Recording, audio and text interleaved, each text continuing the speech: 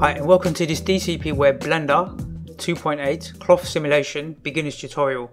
So in today's tutorial we're going to create a simulation similar to this. So this material will float down, land on this text and then it will get pulled away showing the text something like this. We'll watch it one more time. Let's just click play and we should get a result similar to this one. So let's go ahead and open up Blender and we'll quickly go to file save as. And I'm just going to give it a name. I'm just going to call it cloth-01 and we'll save that. We'll click on the cube and delete it. If you've not used blender before you can check uh, the link in the YouTube description to a beginner's tutorial. I'll advise you go through that first if you haven't used blender before. So we'll delete the cube first. So we'll hit the delete key we'll press Shift A and insert a plane. And we want to scale this plane on the X and the Y only. So we're going to press S to scale and then Shift key and Z. And then we're going to type in 20, 20, and that will scale it up by 20 on the X and the Y axis only. So you can see that here on the X and Y it's been scaled by 20. And then we want to add our text. So let's press Shift A and we'll go to text here so here we can see our text objects. Let's just rotate around and zoom in a little bit. We'll press the tab key on our keyboard. The tab key allows us to go from object mode to edit mode. So we're going to go into edit mode with the tab key and we type in, you can type in anything you like. I'm going to type in DCP web. We'll press the tab key to go back into object mode and we'll go to the object data here and we need to download a font quickly so let's just open up the web browser and we'll go to this website. I'll put a link to this website in the YouTube description and then you can pick any font you like. Um, I think normally I use this font here in my tutorials. I'm going to try this one out today. Uh, so in fact I'll use the same one. Let's just use the same font. I'll use this one here. So I'm just going to drag and drop that into this folder and then close down the browser We'll open up this folder, we'll right click here and extract the font. And then we'll delete this zip file and we'll rename this to font. And we'll delete this, uh, so we're just left with the font now. Let's go back to Blender. With our font selected, we're inside the object data here. We're going to go to font and then open up this folder and go to the font here and then select this text or this this uh this font here and click open and we can see our font has been changed. We'll set the size to 2 and then we're going to set the character spacing to 1.1 here. Then we'll go to, let's just uh, let's just zoom out a little bit so we can see it. Then uh, let's go to geometry and we set the extrusion to 0 0.2 here, 0 0.2 then we'll go to object, set origin, geometry to origin here. That will center it out on the cursor here. And then we need to press number three on our keyboard. And number three will take us to right orthographic. And we can zoom in a little bit here and click on the move tool. And then we just want to drag this text so that it sits a little bit above like, uh, let's say about something like uh, one box should be fine. So we're like almost like one box here above this green line. Then we can middle mouse click and rotate around and we'll see our text here. Then with the text already selected, so we click on this drop down here, you'll see we've got a camera, light, plane and text. The plane, let's double click on that and let's give it a sensible name. Let's call it floor.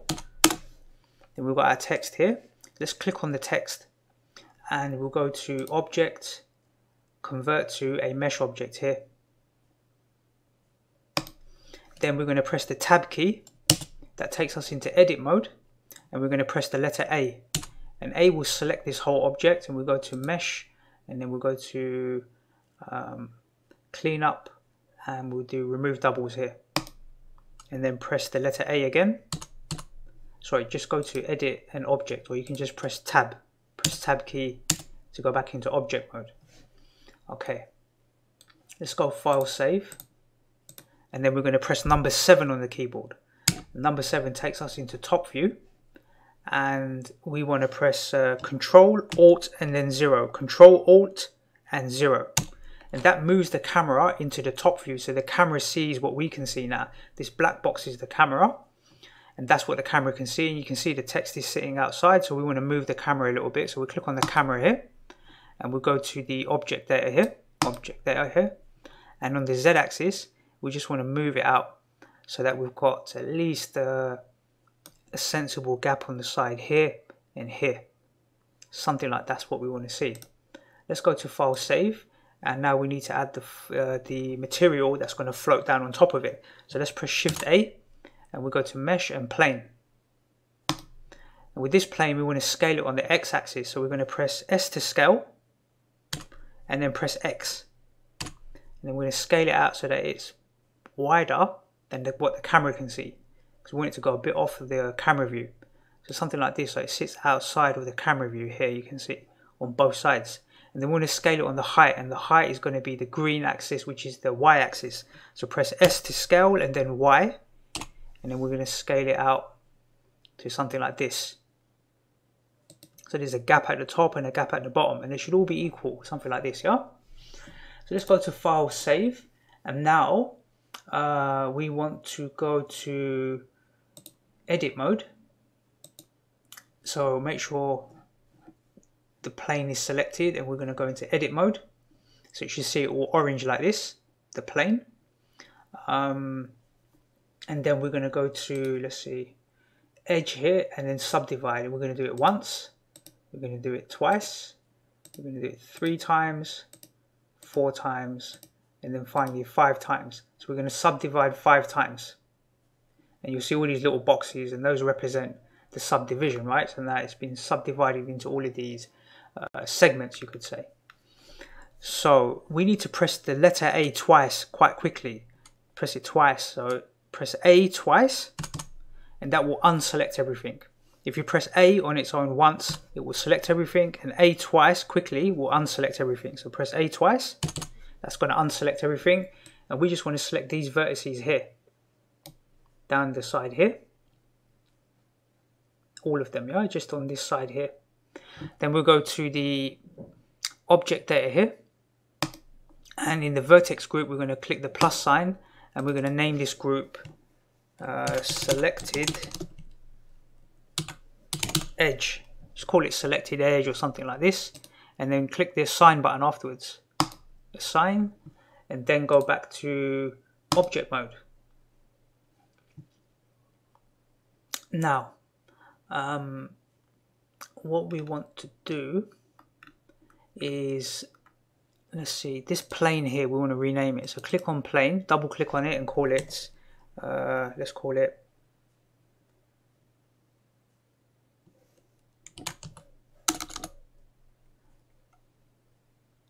uh, let me think what am I going to call it? I'm gonna, let's call it cloth. Cloth material. So we'll call it cloth material. Let's click on the floor. So we've got the floor here click on it. Then go to the physics and select collision. Then go to the text and also select collision here. So you need to go to physics and collision. Then go to the cloth material and select cloth here inside the physics tab right? Cloth here. Then in the quality steps we'll set it to 8 for now. And on the end frame here down here we want to set it to 100 for the minute. Just set it to 100 100 and then in the shape here we want to select the edge selected or selected edge group that we created the pin for the pin group here and then in collision we want to set it to 5 for now and pretty much everything else can stay the same the one thing we need to do is move this material uh, above the text. So let's press number 3 on our keyboard. That takes us into the right orthographic. And we'll click on the cloth material and drag it so that it's above the text. Uh, something like around, around here should be okay. You don't want it too far away. Something like this. So it's almost like one box away. Like one of these big grey boxes. about that distance away. Then we'll go back to the uh, camera view. So we press number zero on our keyboard. That takes us back to the camera view. Let's go to File, Save, and then we'll go to the cache settings. So click on the cloth material, go to the physics, and then go to the cache here, and click uh, in here. You have to set it to 100 as well. So set the end, end of the bake to 100 and click Bake All Dynamics. This will take a few seconds to do. And let's test it. Let's click the play button. And now we can see this uh, cloth. Uh, it's going backwards. One minute. Let's go to the first frame, click play. Now we can see it's been pinned here, so it doesn't fall here, but it will fall over the text. And we can smooth shade it and do some surface subdivision afterwards to improve how this material looks when it hits the, the text below it. So let's press zero on our keyboard. That takes us to the camera view. We'll pause it and go back. And let's see.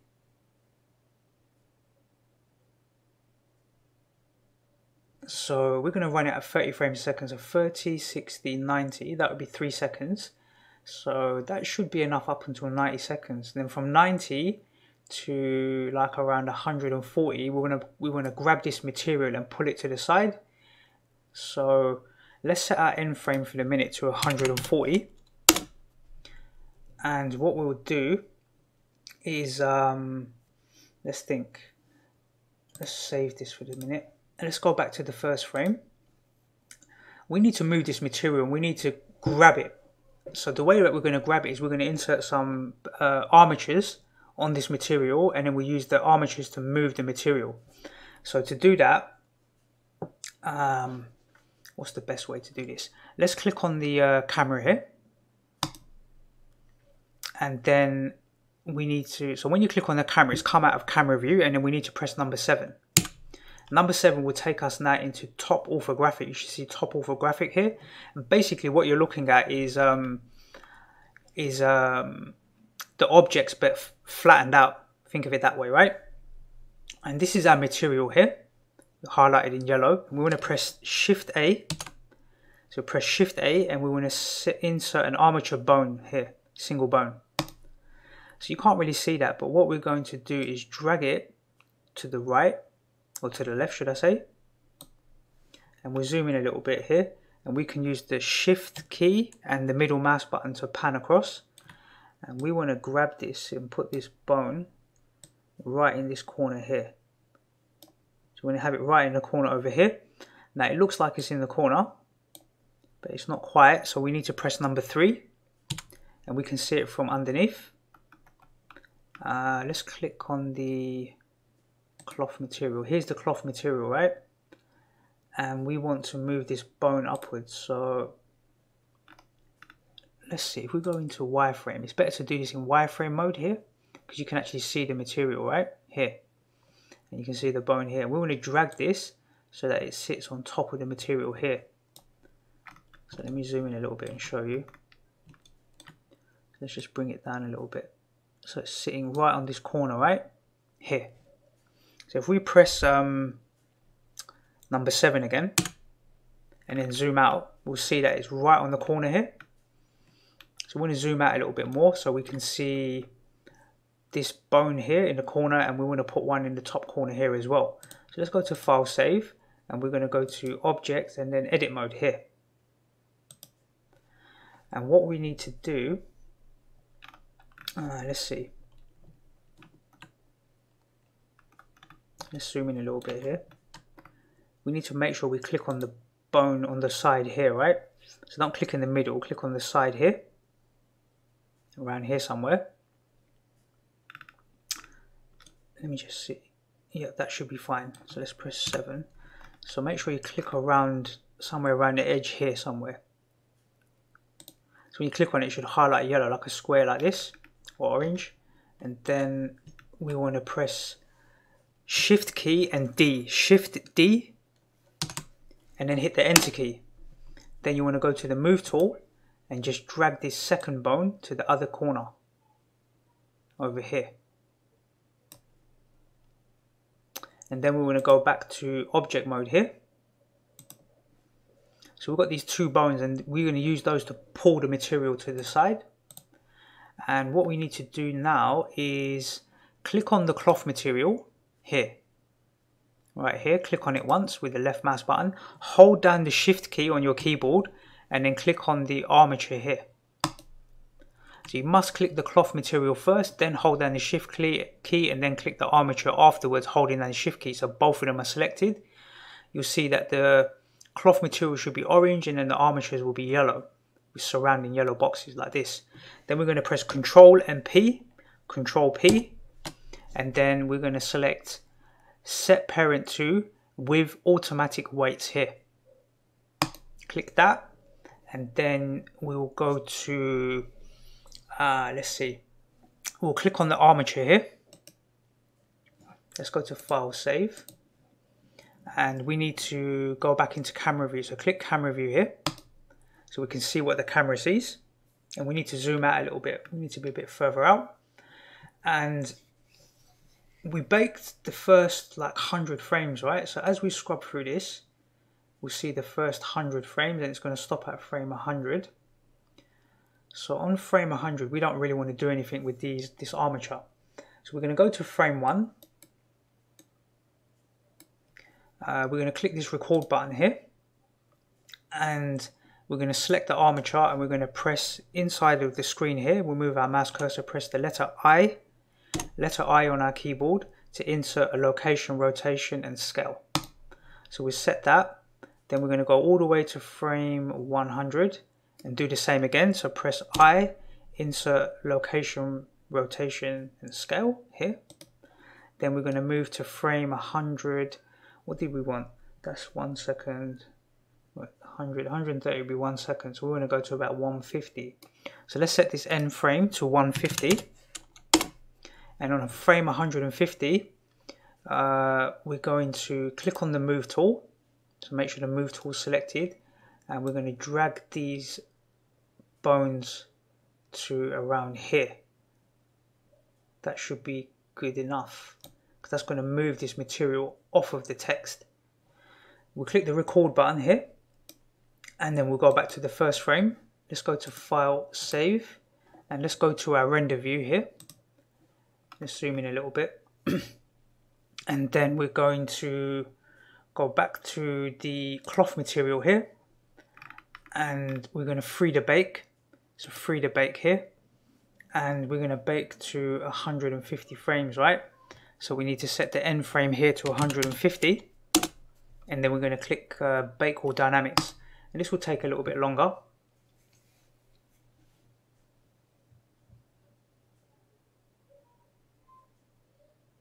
And then we'll click play.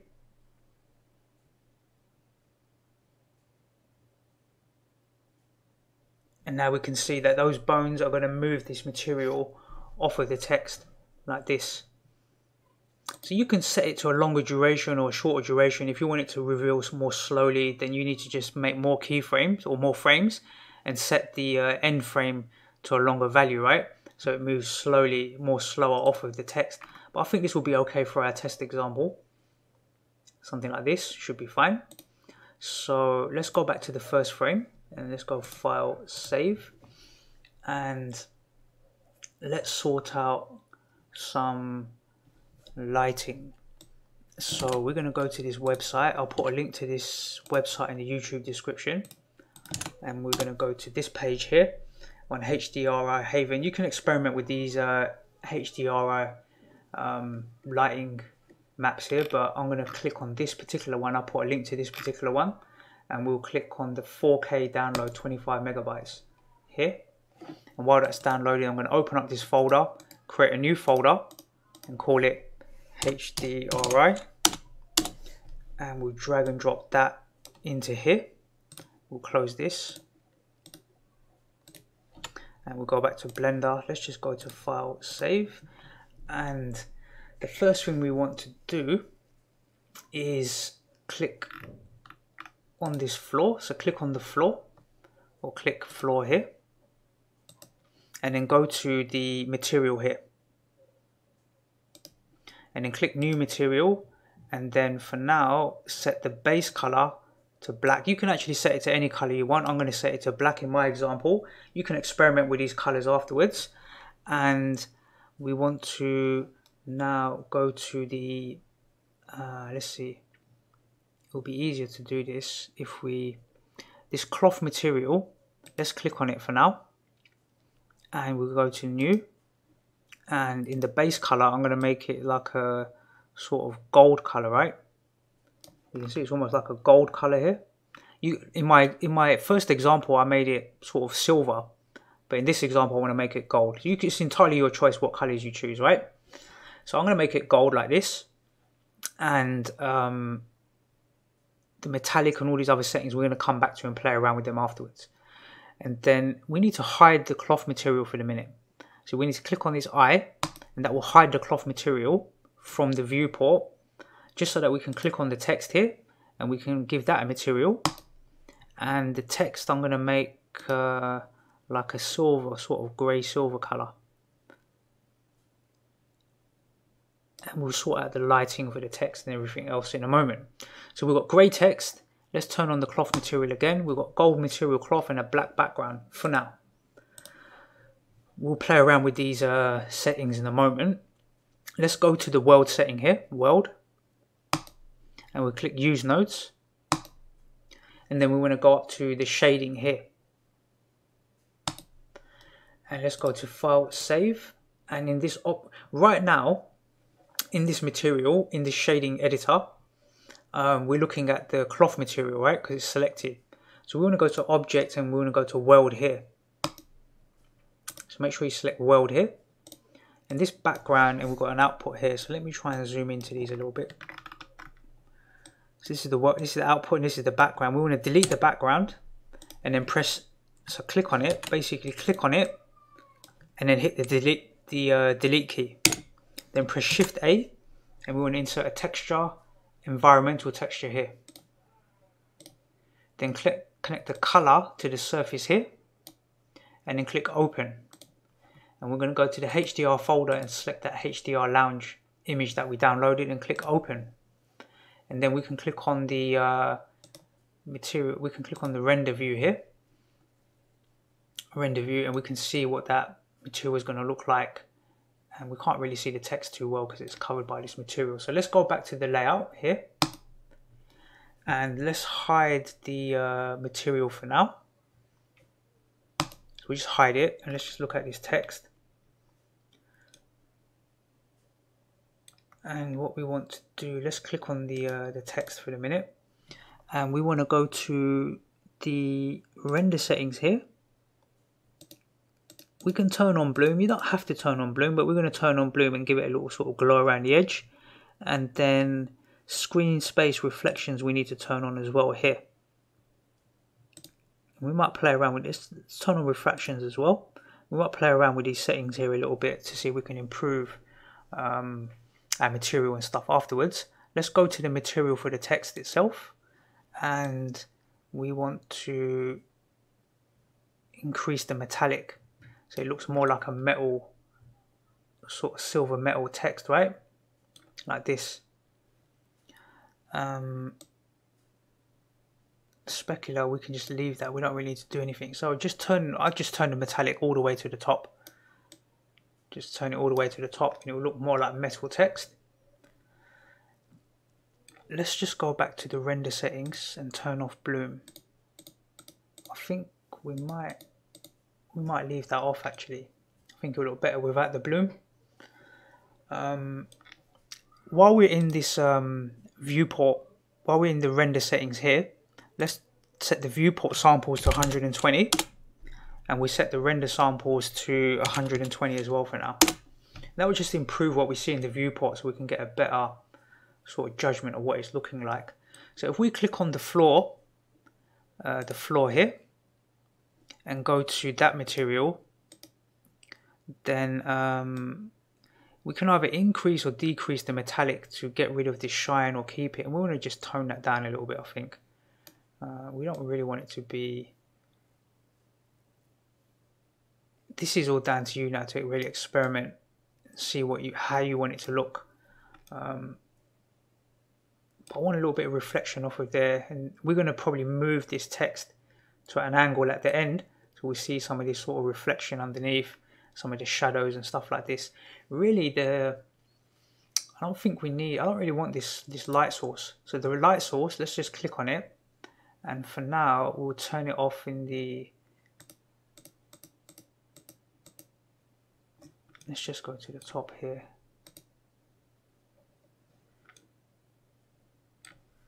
In fact we might leave it on. Let's turn it into a sun lamp and we'll reduce the energy. Probably need a little bit of light in there just to improve the text. So what I've done is I've clicked on the light source and turned it into just reduce the energy basically. Set it to about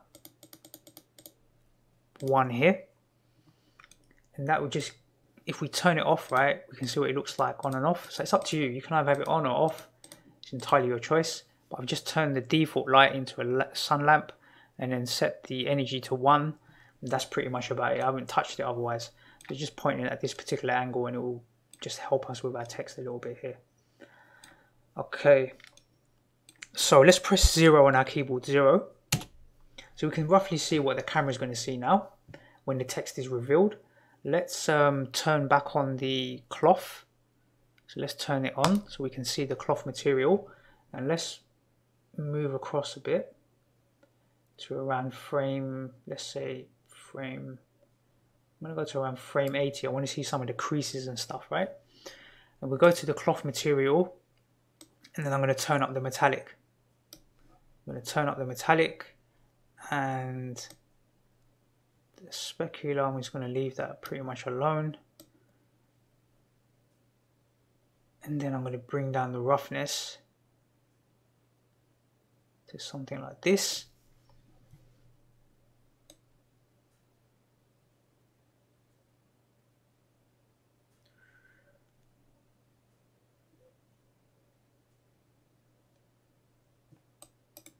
and then I'm going to go to um, the modifier here.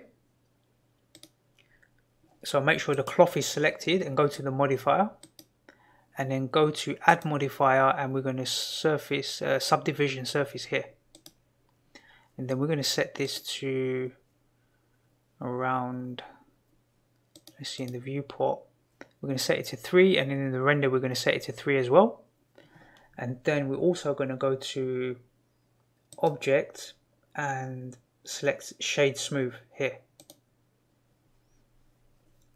So this is kind of like some gold material now, right?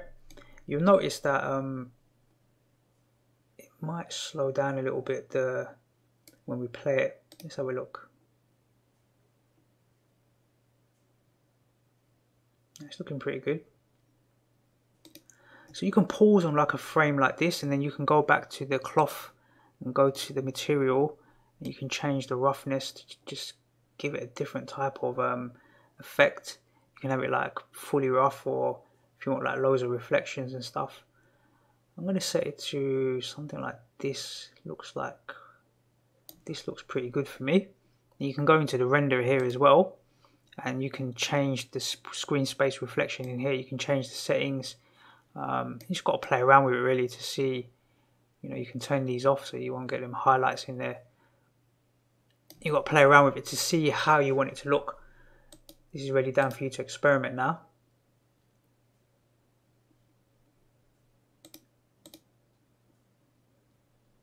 So I think that'll be okay. It's quite different to the first one I did, but you know, let's not make something exactly the same twice over. Let's do something a bit different. Uh, let's hide the uh, cloth material because I'm not really liking this text too much. So let's go to its material and maybe we'll bring down that roughness to try and get some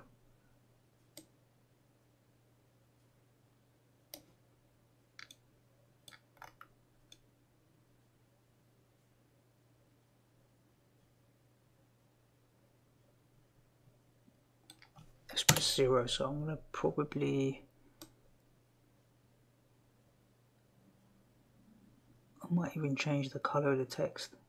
I'm not really liking this sort of color. So let's see.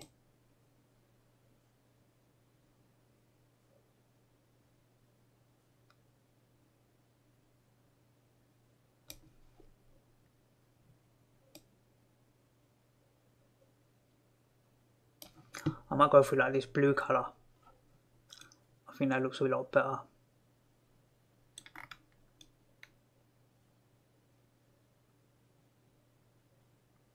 Yeah, okay, I'm going to stick with blue. Um, and then the floor, you can change that color as well. You can click on the floor. And if you want to change the color of that, you can just turn it back up. Change it to a different color if you want. You can play around with the settings. I'll leave it for you to experiment. I'm leaving mine quite dark. Just going to pretty much leave every, all the settings as they are. And then let's turn back on the cloth. In fact, we'll, yeah, let's turn back on the cloth material. Let's just run through that. So that's what it's going to look like. It's going to reveal this text uh, it finishes reveal, revealing what this animation really is done by about frame 140 it's off the camera so on this frame here what we'll do is we'll set it to let's see 140 1020 that's two that's one second. So probably about 190 so we're going to set it to 190 here. Set the end frame to 190 and we'll go back to the uh, first frame.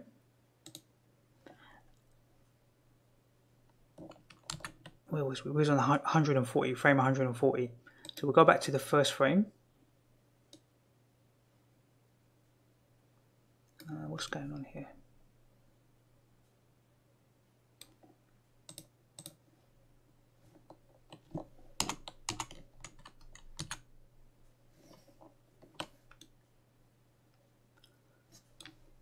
Let me just go file save.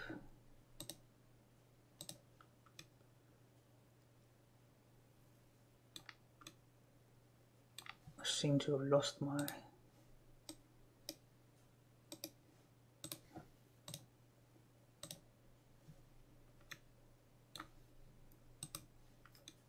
Okay, that's back. I think there's a little bug there in Blender. I thought I lost my HDR lighting, but it's there.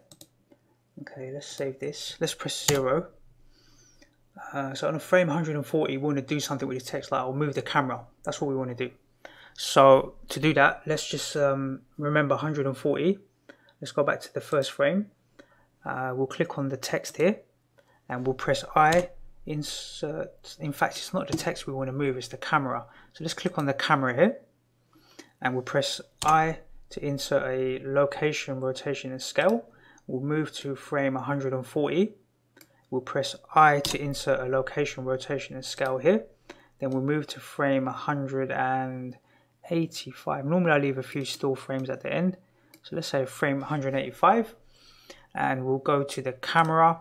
We'll press um, N on our keyboard. So press the letter N. And then we'll do camera, lock camera to view. And we're just going to rotate this text around to something that we like.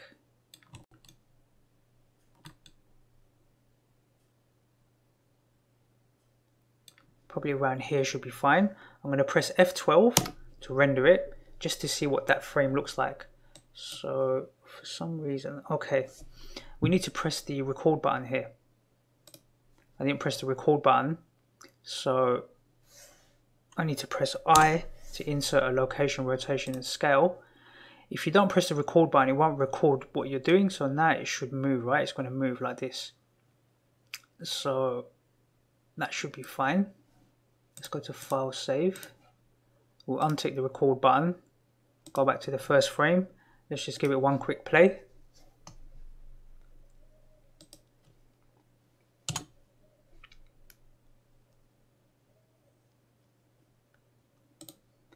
Go to our last frame and press F12 so we can see what our text looks like. Could have been a bit brighter, but I think it's okay.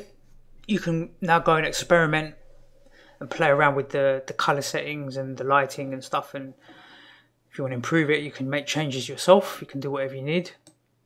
I'm going to go to File, Save, and we're pretty much done.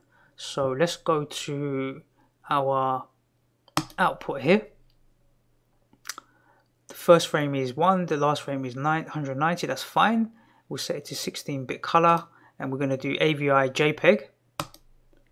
And we just set it to 100% uh, here. And we'll go to the folder desktop and we'll go into this folder here and we'll just click accept and then we'll press control and F12 now Blender will create each frame and it will create a video clip afterwards. So I'll pause the video wait for this to finish and then we'll see what it looks like. Okay so Blender's finished rendering out the 190 frames. We can close this and go to file save and then we can close that in Blender. And inside our folder we'll have this new AVI file and we can open it up and we can see the result. So let's just set it to repeat a few times and we can see what we think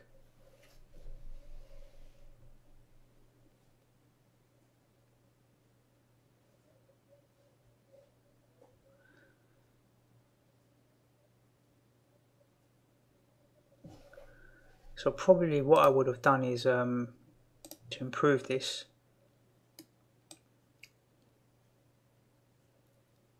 I would have probably ended on this sort of angle on the text rather than having it go to a dark. Left it on sort of more of a lighter angle and I might add another light source to uh, reflect against that text but overall I like the gold effects come out pretty well